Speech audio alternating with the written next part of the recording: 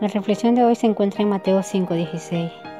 Así alumbre vuestra luz delante de los hombres, para que vean vuestras buenas obras y glorifiquen a vuestro Padre que está en los cielos. ¿Cuál es el objetivo supremo de, de ser la luz del mundo? ¿Que nos vean? ¿Que nos admiren? ¿Que nos alaben? No, no, de ninguna manera. El objetivo supremo de obedecer los mandamientos dados por Dios no es que los guardemos para que el mundo vea cuán obedientes somos. La obediencia queda en penúltimo lugar.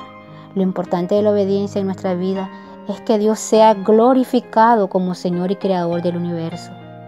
Cuando obedecemos sus mandamientos, lo que el mundo ve es a Cristo actuando en nuestro corazón, el fruto glorioso de su obra, lo valioso que es Él y el poder que el Evangelio tiene para transformar la vida.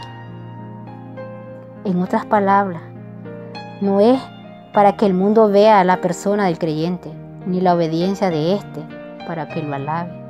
No. El objetivo es muy otro y consiste en que todos vean la gloria de Dios y lo alaben a Él. Por eso vino Jesús y por ello su misión continuará hasta que regrese por segunda vez. Reconoce hoy que la transformación que Dios ha realizado en tu vida no es para que te alaben a ti, sino para que alaben a Dios. Permite que Dios res resulte atractivo para todos y que sea amado, respetado y adorado por los demás por la calidad de vida que pones de manifiesto día a día.